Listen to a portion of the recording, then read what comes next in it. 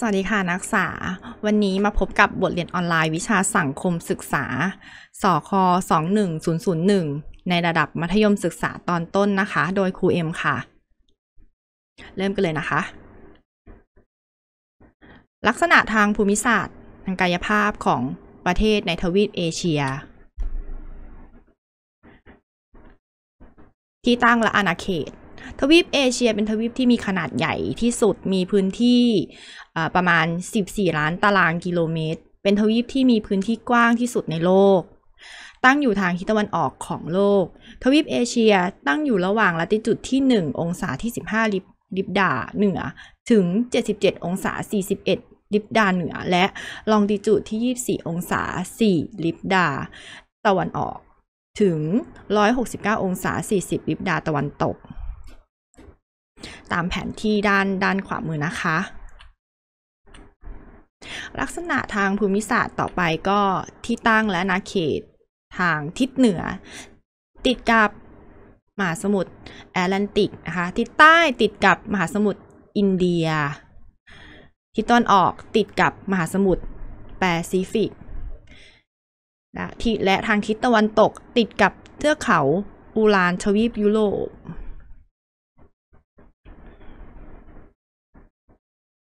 ลักษณะภูมิประเทศ ทวีปเอเชียมีลักษณะเด่นคือมีภูมิประเทศที่เป็นภูเขาสูงอยู่อยู่เกือบใจกลางทวีป ภูเขาดังกล่าวทำหน้าที่เหมือนหลังคาโลก เพราะเป็นจุดรวมของเทือกเขาสำคัญสำคัญในทวีปเอเชีย จุดรวมสำคัญได้แก่ ปามีร์ knot ยูนนาน knot และอาร์เมเนียนอส เทือกเขาสูงสูงของทวีปเอเชีย วางแนวแยกย้ายไปทุกทิศทุกทาง เช่น เทือกเขาหิมาลัย เทือกเขาคุนลุน เทือกเขาเทียนชาน เทือกเขาอัลตินตัก เทือกเขาฮินดูกูช เทือกเขาสุไลมาน ยอดเขาเอเวอเรสต์ที่มีระดับความสูง 8,850 เมตร เป็นยอดเขาที่สูงที่สุดในโลกตั้งอยู่บนเทือกเขาฮิมาลัย ระหว่างเทือกเขาเหล่านี้มีพื้นที่ค่อนข้างราบแช่สลับอยู่ทำให้เกิดเป็นแอ่ง แผ่นดินที่อยู่ในระดับที่สูงนะคะ เช่นที่ราบสูงทิเบต ที่ราบสูงมองโกเลีย ที่ราบสูงยูนานนะคะ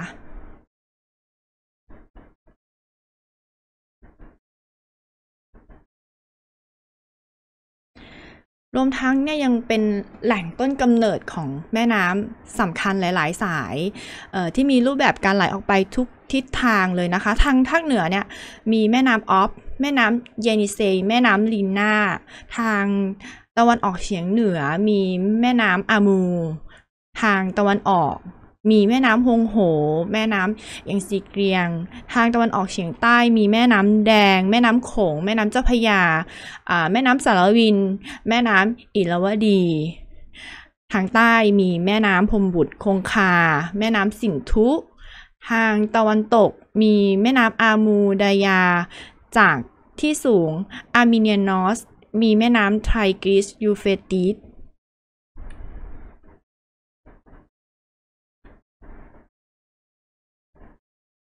บทบาทของลุ่มน้ำเหล่านี้นะคะ คือพัดพาเอาตะกอนมาทับถมที่ราบอันกว้างใหญ่ไพศาลกลายเป็นแหล่งเกษตรกรรม และที่อยู่อาศัยสำคัญสำคัญของชาวเอเชียแล้วนี่เองนะคะ โดยเฉพาะที่ราบดินดอนสามเหลี่ยมปากแม่น้ำเนี่ยจึงกลายเป็นแหล่งที่มีประชากรอาศัยอยู่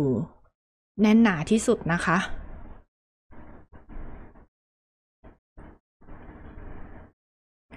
ต่อไปเป็นสภาพภูมิอากาศ 1. ภูมิอากาศแบบป่าดิบชื้น เขตภูมิอากาศแบบป่าดิบชื้นเนี่ยขึ้นอยู่ระหว่างลัติจูดที่ 10 องศาเหนือถึง 10 องศาใต้ ได้แก่ภาคใต้ของประเทศไทยนะคะ ที่ติดกับมาเลเซีย อินโดนีเซีย และฟิลิปปินส์ 2. ภูมิอากาศแบบมรสุมเขตร้อนหรือร้อนชื้น แถบมรสุม เป็นดินแดนที่อยู่เหนือละติจูดที่ 10 องศาเหนือขึ้นไปมีฤดูแล้งและฤดูฝนสลับกันประมาณปีละเดือน ได้แก่บริเวณคาบสมุทรอินเดีย และคาบสมุทรอินโดจีน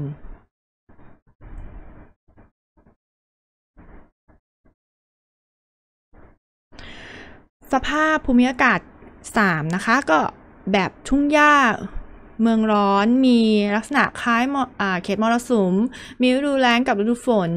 แต่ปริมาณน้ำฝนน้อยกว่า อุณหภูมิเฉลี่ยตลอดปีประมาณ 21 อุณหภูมิกลางคืนเย็นกว่ากลางวัน ได้แก่บริเวณอตอนกลางของอินเดีย และก็สาธารณรัฐแห่งสภาพพม่า และคาบสมุทรอินโดจีน 4. อุณหภูมิแบบมรสุมเขตอบอุ่น อยู่ในเขตอบอุ่น แต่ได้รับอิทธิพลของลมมรสุม มีฝนในฤดูร้อน ฤดูหนาวค่อนข้างหนาวมากเลย ได้แก่บริเวณภาคตะวันตกของจีน ภาคใต้ของญี่ปุ่น คาบสมุทรเกาหลี ฮ่องกง ตอนเหนือและอินเดียในสาธารณรัฐประชาชนลาวตอนเหนือของเวียดนาม 5. นะคะ ภูมิอากาศแบบอบอุ่นเอ่อภาคพื้นทวีปได้แก่ภาคเหนือและตะวันออกเฉียงเหนือของประเทศสหรัฐประชาชนจีน เกาหลีเหนือ ภาคเหนือของญี่ปุ่น และตะวันออกเฉียงใต้ของไซบีเรีย 6. ภูมิอากาศแบบทุ่งหญ้ากึ่งทะเลทราย แถบอบอุ่น มีอุณหภูมิสูงมากในฤดูร้อน และอุณหภูมิต่ำมากในฤดูหนาว มีฝนตกบ้างในฤดูใบไม้ผลิและฤดูร้อน ได้แก่ภาคตะวันตกของคาบสมุทรอาหรับ ตอนกลางของประเทศตุรกี ตอนเหนือของภาคกลางอิหร่านในมองโกเลีย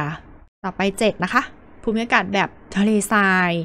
มีความแตกต่างระหว่าง อุณหภูมิกลางวันกับกลางคืนนะคะกลางกลางวันคือจะร้อนกับคือจะหนาวมาก ได้แก่ดินแดนที่อยู่ทางในทวีปที่มีเทือกเขาปิดล้อม ได้แก่บริเวณคาบสมุทรของอาหรับ ทะเลทรายโกบี ทะเลทรายธาร์และที่ราบสูงทิเบต ที่ราบสูงอิหร่าน 8. ภูมิอากาศแบบเมดิเตอร์เรเนียน อากาศในฤดูร้อน ร้อนและก็แห้งแล้ง ในเลบานอนซีเรีย อิสราเอล และตอนเหนือของอิรัก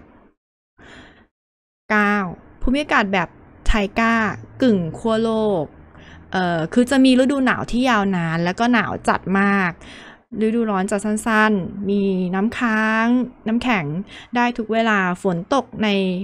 ในในในรูปแบบของหิมะตกอะค่ะ ได้แก่ดินแดนของทางภาคเหนือของทวีบริเวณไซบีเรีย 10 นะคะ ภูมิอากาศแบบ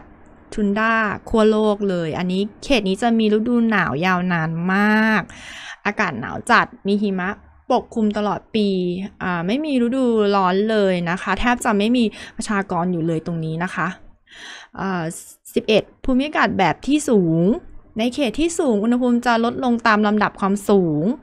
อัตราความสูงเฉลี่ยประมาณ 1 องศาเซลเซียสต่อความสูง 10 เมตร